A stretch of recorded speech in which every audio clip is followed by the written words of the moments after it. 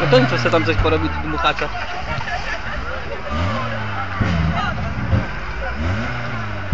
Nie, to chyba z tłumiku,